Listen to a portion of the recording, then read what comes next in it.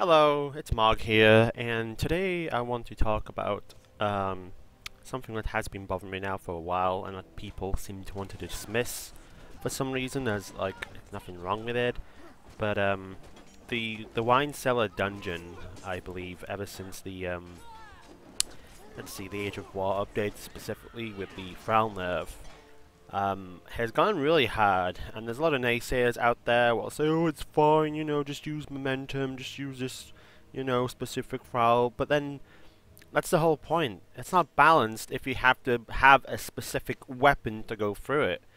Um, the dungeon is hard, I get that, and it is an endgame dungeon, and again, I'm fine with a, a difficulty challenge. I've played hard games, I've played Elden Ring, for goodness sake. It's, I'm used to playing hard games but not when the difficulty isn't a crutch, and especially so when the dungeon itself is just not attuned at all or balanced ever since the nerf in Age of War. Like, the dungeon itself is still based off pre-Age of Sorcery balance, essentially.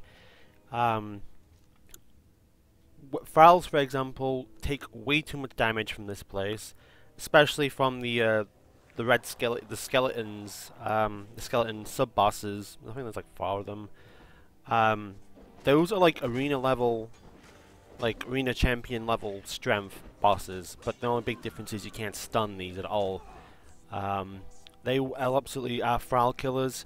If the arena champion is a Thrall killer, um, these skeletons are Thrall killers too, like without a doubt. And I've done this dungeon a few times since Age of War, and I have lost countless Thralls to these bosses. It's no joke. And then you have the very last boss, which is Fag, Fag, or whatever you want to call him, Fag. I mean, that sounds like I'm saying Fag, but um, this boss again, the encounter is fine. Like the, the the boss itself is fine. Like the it's a fun boss. I like the boss. It's unique. You know, you gotta dodge the AOE. You got the skeleton ads you gotta deal with. I'm fine with that. The the problem is um, the boss has too much HP. He was never adjusted for the stats, stat changes on the Thralls. And Thralls get stun locked all the time on this boss. Like, people are saying, oh, just, you gotta commit and help the Thrall. I do that. Like, I am actively engaged in the fight all the time. But it's my Thrall what gets demolished because all the aggro is on the Thrall, even if I disable the Irritate perk. The Thrall just gets bounced around not doing anything at all. And of course, the, the Thrall cannot dodge the AoE, it doesn't dodge any attacks, it just stands there and takes the damage like an idiot, and then proceeds to die. Like, I almost lost a Beast Tamer Friede, who had like over 100 um, percent strength bonus, 20 plus on alt stats, like 8, 7,000 HP, like fully armored best gear weapons I could get and she almost still died. I had to kill myself just to end the fight. Like, without a doubt, this dungeon is just not balanced. And a lot of people on the forums say, no, you gotta do this, you gotta do that. No, I've tried every fucking method there is out there. And people are like, it's an easy dungeon. It's not easy. The only way it gets easy, and this goes for any content, is if you do it in a group. Okay?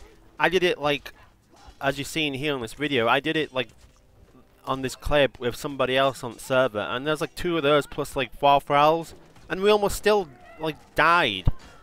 I lost Thralls in a few occasions. Like it's just stupid. Like, and none of the other dungeons or bosses in the game have this. Like I can get through this dungeon just fine by myself. I kite the bosses. I kill all skeletons before I pull the boss. It's fine. Like it's not impossible. It's the last boss specifically, I think, what's the issue here. And I think all he needs is just a, you know, a 30% health reduction, and then that'll be it. Like, it won't be a bad encounter.